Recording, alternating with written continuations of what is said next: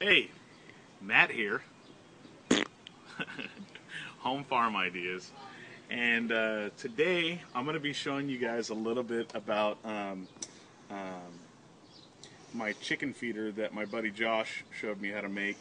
Uh, he, he couldn't take his apart because I think he uh, made the video and already uh, uh, he didn't make a video of putting it together. So I'm just going to cover that part of it, um, putting it together.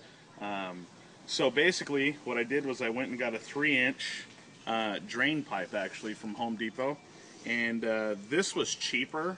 Uh, you could have went with the PVC, but um, I didn't want to go with the PVC because it was a lot more expensive for a 10-foot length. Uh, this, um, it was a 10-foot length, and uh, it cost me like seven bucks with taxes.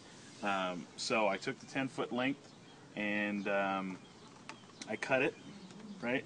And I'm going to leave this connector on the top because uh, that's going to be the top of my uh, feeder. It's going to go like that in the in the uh, chicken chicken coop. Um, so, anyways, I cut the hole here like Josh did, and um, that goes on this 90 degree uh, angle for the um, the uh, drainage pipe. Uh, they sell separate ones for the drainage pipe, so just find the 90 degree for the drainage pipe. Um, and then basically how it goes is uh, you take it and you put it on like that, right? Then you take this in and you put it on like that, okay? And then normally you'd have a cap for it. I, did, I didn't get a cap, but I'm gonna get a cap for it. And then uh, you want to get a cap for this end too to keep the food fresh. Uh, and then if you come around here,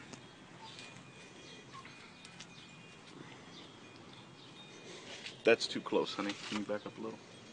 So what you want to do is after that is you're going to basically uh, cut a hole in your cage or the wood, whatever you got, send that in. Make sure it's not above the feeder. I'm going to move this too, but or make sure it's not above the uh, the roost. Um, so anyway, I'm going to put the, all that all the way in, and then uh, they'll have their. Uh, you put all the food in the top here, and then as they eat it, it goes down, and then you just fill it up again. Um, so yeah, that's it. Oh, it keeps the uh, keeps the chicken manure and pee and all that stuff out of the uh, out of the uh, the feed. So that's what you want to do. You want to keep it as simple as possible and uh, keep the keep the food clean. All right.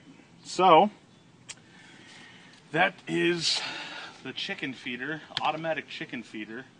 Um, so I'm Matt signing off. Have a good day.